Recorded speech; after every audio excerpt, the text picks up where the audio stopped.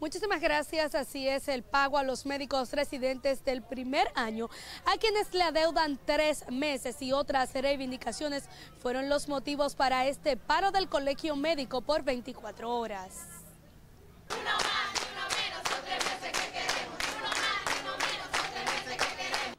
Apostados en la parte frontal del Hospital Infantil Dr. Arturo Grullón permanecen los galenos, que además del pago de los residentes de primer año, aseguran han paralizado sus consultas en reclamo del alegado incumplimiento de los acuerdos firmados con el gobierno el pasado año.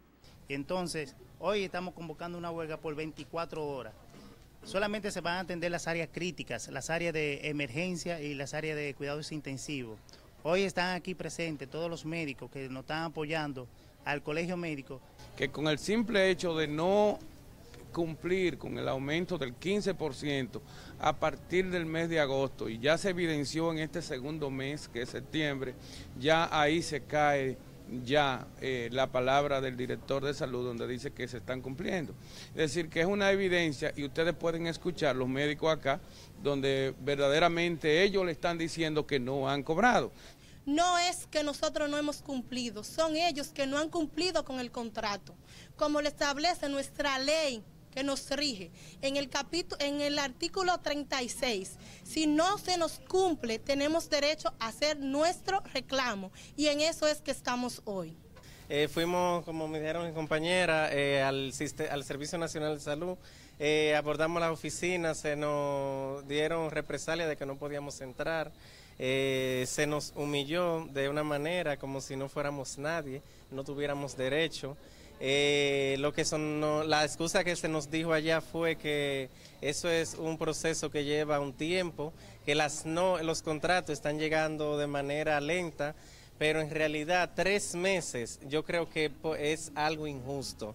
Igual situación solo atendiendo los casos críticos y las emergencias se vive en el Cabral Ibáez donde pese a que en las primeras horas pareciera no cumplirse, a media mañana de este miércoles los médicos permanecen en las afueras del centro de salud. Eh, realmente queremos hacer de conocimiento público esta situación porque entendemos que, que esperando no vamos a lograr que se nos escuche. Entonces esa es la idea, que la clase médica se haga sentir. En el hospital realmente eh, se han seguido atendiendo los pacientes críticos y las emergencias, por eso quizás falta uno que otro residente, pero estamos aquí todos reunidos a una misma voz para reclamar un derecho. No estamos pidiendo más de lo que merecemos y lo que necesitamos para seguir laborando en este hospital. Nosotros firmamos contrato el pasado mes de junio, iniciamos labores en julio con la promesa firmada y pactada por el Colegio Médico y las autoridades del Servicio Nacional de Salud de que en septiembre íbamos a recibir nuestro primer sueldo. En octubre íbamos a recibir el pago del, mes correspondiente y los retroactivos por el mes de julio y agosto. Más sin embargo, esta es la fecha en que ninguno de nosotros aparecemos en nómina, no aparecemos con cuentas abiertas, no aparece dinero para los R1 y lo que aparece es una respuesta de que sí se puede para el mes que viene. Entonces serían cuatro meses de trabajo eh, arduo, extenso, eh, bajo condiciones inhumanas, tanto para el médico como para el paciente. Arreciar su jornada de lucha con un paro por 48 horas, miércoles y jueves de la semana próxima, será el siguiente paso del colegio médico de no recibir una respuesta del Servicio Nacional de Salud. Todo por el momento, vuelvo contigo a los estudios.